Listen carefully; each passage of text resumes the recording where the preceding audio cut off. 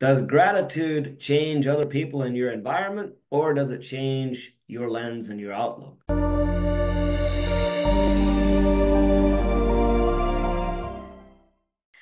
Last week we were traveling and we flew to Chicago and went to a car rental place. And our experience was really horrible there, you guys. I had a really, really bad attitude there because they were just not co cooperating and not giving us really what we thought we ordered, right? No flexibility. No flexibility. Customer service was just killing everything.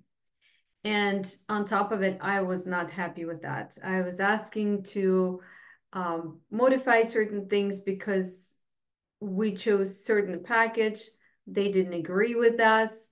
There was a charges and on top charges, right? Hidden fees Hidden that fees. we didn't know about because it was in the fine print. And you know, from all of that was interesting because we got a truck as a rental car. A gas guzzler. They actually chose it for us. We didn't choose it.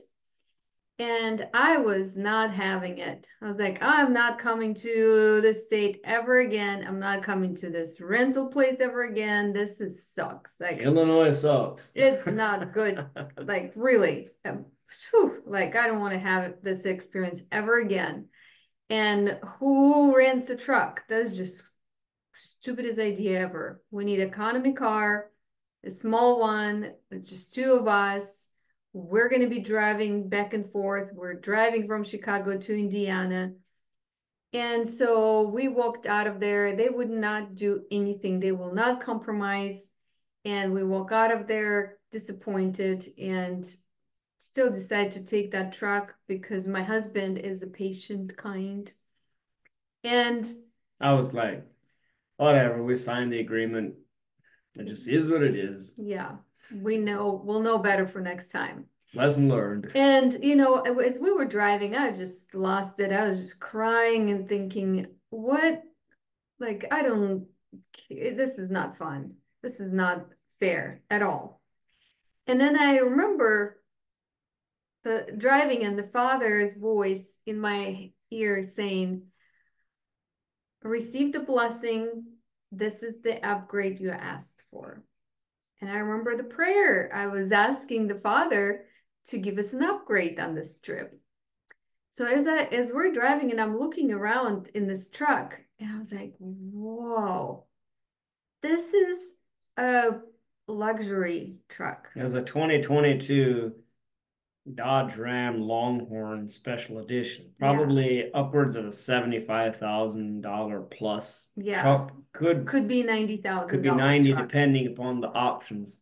And so, as I started looking, and I said, Jesse, these leather seats are real leather, not a pleather kind of, you know, the full leather, whatever you want to call it. And then I look and I said, oh my gosh, look at the detail. Oh, and we're driving and it's so smooth. Like you don't even feel the bumps on the on the road, right? It was driving so beautiful. It drove like a queen. It was quiet. And even through traffic, it was just amazing. Beautiful navigation, beautiful, smooth driving. And it dawned on me. I was like, you know what? I repented and I said, Father, forgive me for not receiving this blessing. I receive it. I see it now as an upgrade. And I'm grateful. There's something in this that the Father's blessing and his provision for us and protection. And what do you know? The whole trip was a blessing. That truck served us so well. We were able to even take our Amish family for a ride, multiple people, and it was amazing. We loved it. Then on the way back, when we were returning that truck, we walked in and right away I greeted them with a smile, started asking them questions that forming them, forming them, which is, you know, asking questions that are personal And they were just smiling and kind and grateful and happy and uh, provided us a great service. And they were the same people that were there when we got the truck. And so we walked out of there, you know, thanked them for a great choice for us. And we were taking a shuttle back to to the airport. And even the, our driver was so amazing. We connected with him. He even shared his story with us. And after all, we we gave him a tip for providing great service for us. And so at the end of it, we realized how amazing the shift in your attitude can provide you the experience, right? Of whatever. Yeah, I mean, as, as, soon, as soon as gratitude was expressed, it was like people were bending that over backwards to serve mm-hmm. us and to bless us and to give us extra to go above and beyond. Yeah. And when there was no gratitude expressed, man, it was like bumping into a brick wall. You, yeah. So you can't win.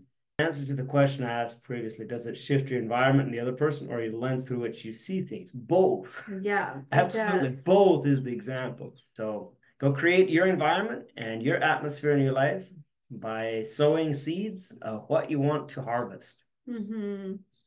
I love it. All right, guys, we'll see you next time.